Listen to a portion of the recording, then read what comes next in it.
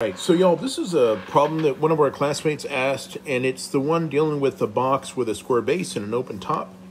So let's see what we have here. It says the volume's supposed to be 78,732. We wish to find the dimensions of the box and minimize the amount of material used.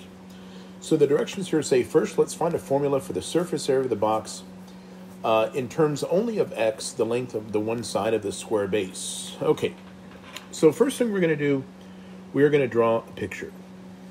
So here is my picture. This is what my box is going to look like. Something like this. Okay. And that's a pretty good box. Okay, so we know the base is x by x, and we don't know the height, so we're going to call it y. So first off, the formula for the volume of a box is length times width times height. Come on, pen. There we go. Okay. So the volume of my box is going to be the length times the width, which is x squared, right, times the height, which is y. Now, we also know that the volume of the box needs to be 78,732, which is telling me that x squared y needs to be equal to 78,732. So if I solve this equation for the letter y, I end up with 78,732 all over x squared. Okay, remember what we're trying to do. We're trying to find the, the uh, surface area of the box, okay? So on the next page, this is what I'm going to do. I'm going to draw the same picture that I had before. So let me, let me do this. Okay. So here is my square base, right? X and X. And here is what my box looks like. I know it's a little bit taller, but I think you guys get the idea. Boom, boom. There we go. that was y. So we said y was equal to 78,732 uh, over x squared. Okay, if I'm going to find a formula for the surface area, remember the base of this thing here was that right there. So x and x gives me an x squared. And then I have, say, this side right here. So the area of that square would be x times y. But we have 1, we have 2, we have 3, we have 4 of those. So that's a 4xy. So now my surface area would be equal to x squared plus 4x times y, which we know is 78,732 over x squared. Okay. So let's see. First off, what's going to happen?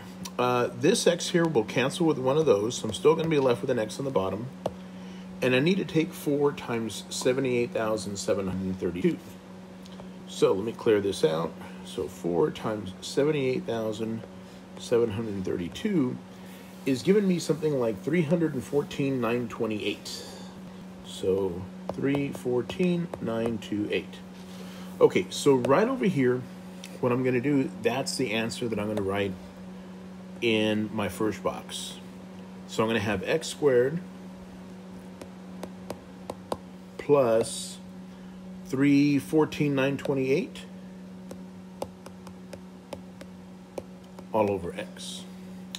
Okay, so the second part says now let's find the derivative of that. Okay, so let's find the derivative of it. So if my surface area formula looks like this, x squared plus 314, 928. I'm going to write it with an x to the negative 1.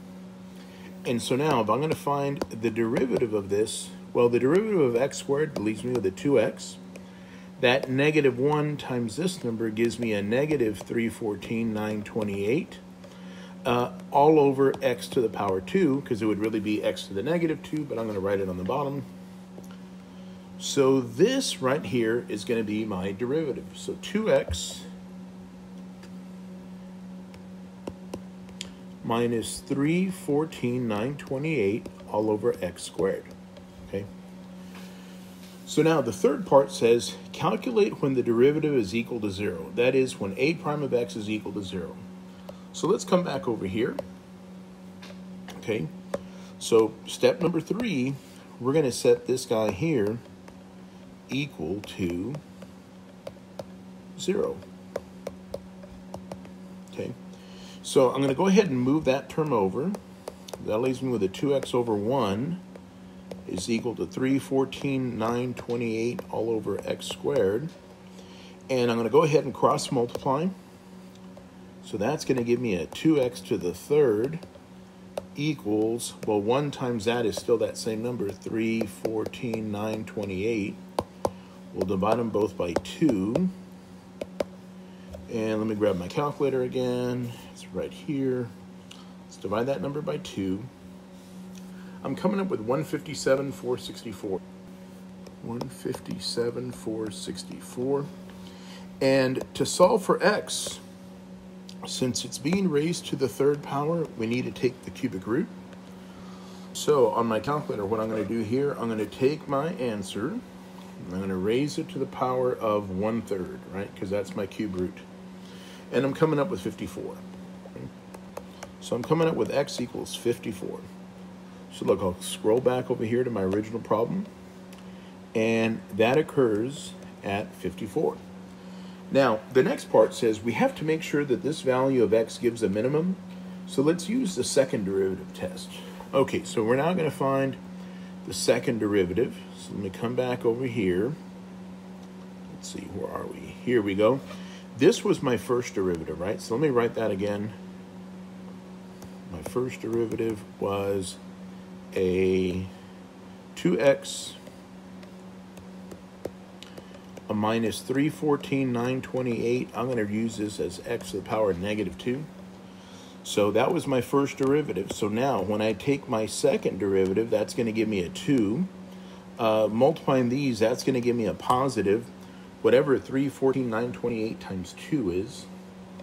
So 314, 928, and we're going to double it. 629, 856. 629, 856, all over x to the third. Okay, let me fix that because it looks a little messy. Here we go, x to the third. So 2 plus 629, 856 over x to the third. Oops. So let me come back over here. So this is going to be 2 plus 629. Oh man, I already forgot my number. Uh, 856 all over x to the third, okay? And now the last part says, can we evaluate that at the number that we got? Of course you can. So let's come back one more time over here.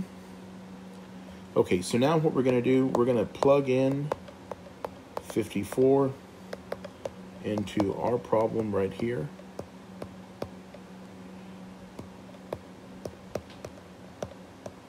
Okay, so let's do this on the calculator. So let's see. 629.56 divided by 54 raised to the third. Oops. Get rid of that parenthesis. Okay. Bring this down here. And then add 2 to it. So we get 6. So when we plug all that stuff in, we came up with 6. And then look, look what it says. Note, since our answer is positive, that means that the graph is concave up. And so that would indicate a minimum, okay? And so that's basically what I was doing here in this problem, y'all.